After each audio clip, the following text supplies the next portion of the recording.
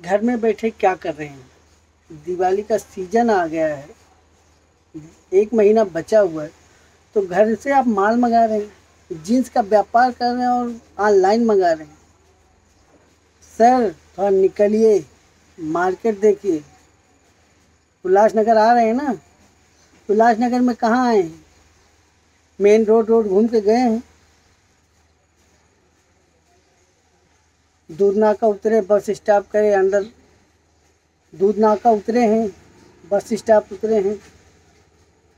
जिस दुकान से लेते थे, उन दुकानों में देखे, खरीदे, लेके चले गए।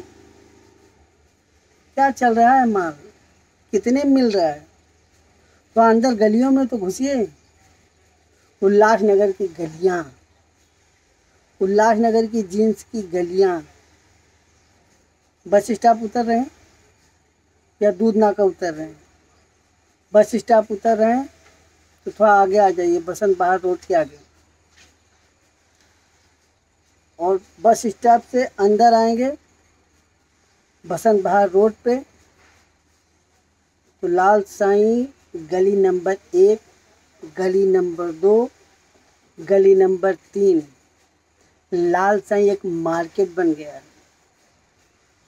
जहाँ पहले लाठी गली बोली जाती थी। आज इतना बड़ा मार्केट है, घुसते चले जाओ। लाट वाले भी हैं, मिक्स वाले भी हैं, और अच्छे जीन्स वाले भी हैं। लेडीज़ पूरी लाइन टू लाइन भरी हुई है। देख सकते हैं। बच्चों का, बड़ों का, किड्स, शर्ट तो अंदर घुसिए।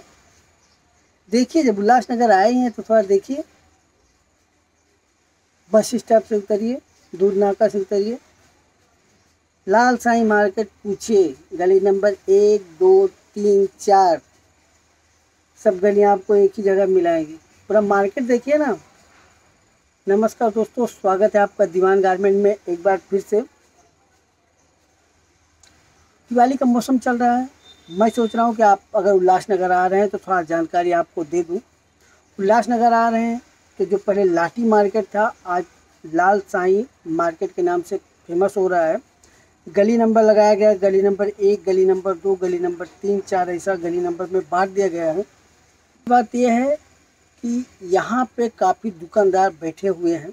आप जैसे आते हैं, रोड रोड से ख़रीद के चले जाते हैं, कोई सैंपल व्हाट्सएप पे सैंपल देख के मंगा लेते हैं तो एक बार उल्लासनगर विज़िट कीजिए, क्योंकि अभी का जो समय है, आप देखेंगे तो दुकान से जो रोड की दुकानें, वहाँ से, वहाँ का जो रेट है, अंदर गली की दुकानें हैं, वहाँ का जो रेट काफ़ी डिफरेंट है। आप समझ सकते हैं कि रोड पे जो दुकानें हैं, जो शोरूम हैं, वहाँ के रेट और अंदर की गलियों की जो दुकानें, वहाँ का रेट का आसमान का अंतर अभी दिख रहा है।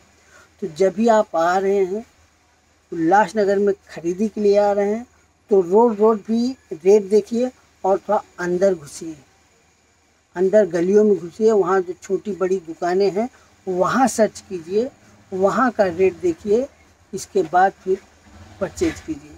आरूसा मार्केट के पीछे देखिए, वहाँ भी काफ़ी दुकानें हैं और लाल साई मार्केट के नाम से थोड़ा आगे, बसंत बहार रोड के आगे थोड़ा वहाँ पे भी गली नंबर एक, गली नंबर दो, गली नंबर तीन आ गई हैं।